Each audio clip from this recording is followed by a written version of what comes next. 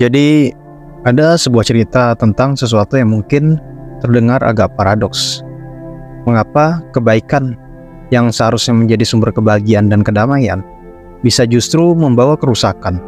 Nah, di video ini kita akan membahasnya. Pertama-tama, gue ingin disclaimer dulu ya, bahwa kebaikan itu sendiri tidak pernah buruk. Tetapi ini adalah sudut pandang yang berbeda tentang kebaikan. Sebenarnya dunia ini sangat membutuhkan lebih banyak kebaikan. Namun seperti halnya banyak hal dalam kehidupan, kebaikan bisa menjadi bumerang jika tidak dikelola dengan bijak. Jadi, mari kita benamkan diri dalam cerita ini. Bukan untuk menakut-nakuti, tetapi untuk belajar bagaimana kita bisa menjaga kebaikan tetap sebagai kekuatan yang positif dalam hidup kita.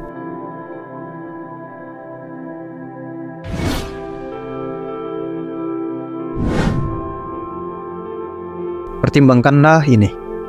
Ketika seseorang berusaha menjadi baik secara berlebihan, terkadang mereka bisa mengabaikan diri mereka sendiri dalam prosesnya.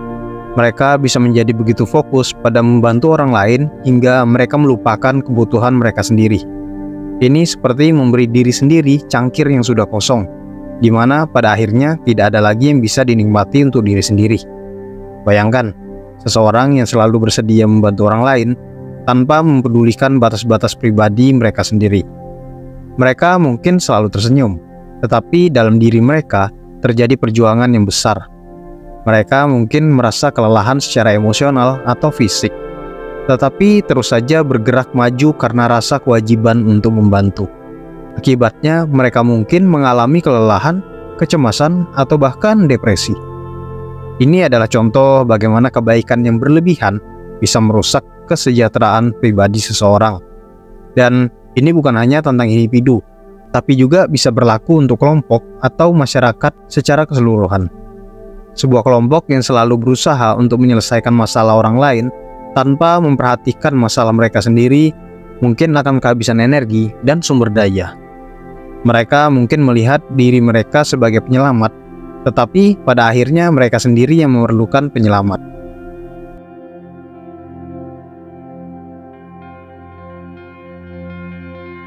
Sekarang, mari kita bahas mengapa hal ini bisa terjadi. Salah satu alasan utama adalah ketidakseimbangan. Ketika seseorang atau sebuah kelompok terlalu fokus pada kebaikan kepada orang lain tanpa memperhatikan kebutuhan mereka sendiri, itu bisa menjadi tidak sehat secara emosional, fisik, bahkan spiritual. Ketidakseimbangan ini nih bisa muncul dalam berbagai bentuk. Misalnya, seseorang mungkin terlalu memanjakan orang lain tanpa memberikan kesempatan bagi mereka untuk belajar dan tumbuh melalui pengalaman mereka sendiri. Atau mungkin seorang relawan yang selalu siap membantu tanpa meminta bantuan ketika mereka sendiri membutuhkannya. Ini semua menciptakan dinamika yang tidak sehat di dalam hubungan masyarakat. Lalu ada pula masalah eksternal yang bisa muncul dari kebaikan yang berlebihan. Misalnya, ada risiko bahwa orang-orang yang terlalu banyak membantu orang lain bisa dimanfaatkan atau dimanipulasi oleh orang-orang yang kurang bertanggung jawab. Mereka mungkin menjadi target empuk bagi orang-orang yang ingin memanfaatkan kebaikan mereka untuk kepentingan pribadi. Tentu saja, ini semua bukan berarti kita harus berhenti menjadi baik. Sebaliknya, kita perlu belajar bagaimana menjadi baik dengan bijaksana. Ini berarti memperhatikan batasan-batasan pribadi kita dan memberikan diri kita sendiri waktu dan ruang untuk merawat diri kita sendiri. Ini juga berarti membangun keterampilan komunikasi yang kuat, sehingga kita bisa mengungkapkan kebutuhan dan keinginan kita dengan jelas kepada orang lain.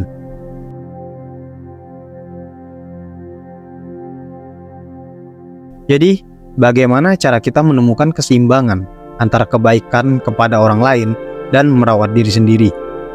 Nah, pertama-tama, Penting untuk mengenali bahwa merawat diri sendiri bukanlah tindakan egois.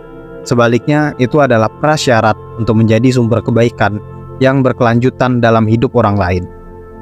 Selanjutnya, kita perlu belajar untuk mengatakan tidak ketika diperlukan. Ini tidak berarti kita menjadi tidak peduli atau tidak membantu. Sebaliknya, ini berarti kita menghormati batasan-batasan pribadi kita dan mengakui bahwa kita juga perlu waktu untuk diri kita sendiri. Selain itu, kita perlu belajar untuk memprioritaskan kebaikan kita. Ini berarti mengenali bahwa kita tidak bisa membantu semua orang atau menyelesaikan semua masalah dunia. Sebaliknya, kita harus fokus pada area-area di mana kita bisa membuat perbedaan nyata dan memberikan dampak positif. Ya, gue tahu ini semua bisa terdengar seperti pekerjaan yang sulit. Dan sebenarnya itu memang sulit. Tapi dengan latihan dan kesadaran diri yang terus-menerus kita bisa belajar bagaimana bagaimana menjadi baik dengan bijaksana. Jadi, mari kita berjanji untuk tidak hanya menjadi sumber kebaikan dalam hidup orang lain, tapi juga merawat diri kita sendiri dengan baik. Dengan cara ini, kita bisa menjadi agen perubahan positif dalam dunia ini tanpa membahayakan kesejahteraan kita sendiri. Sekarang, mari kita bersama-sama menjalani hari ini dengan sikap bijak dan berbelas kasih. Karena pada akhirnya itulah yang membuat dunia ini menjadi tempat yang lebih baik bagi kita semua. Terima kasih telah menonton video ini, dan mari kita maju bersama dalam perjalanan kebaikan dan pertumbuhan secara pribadi.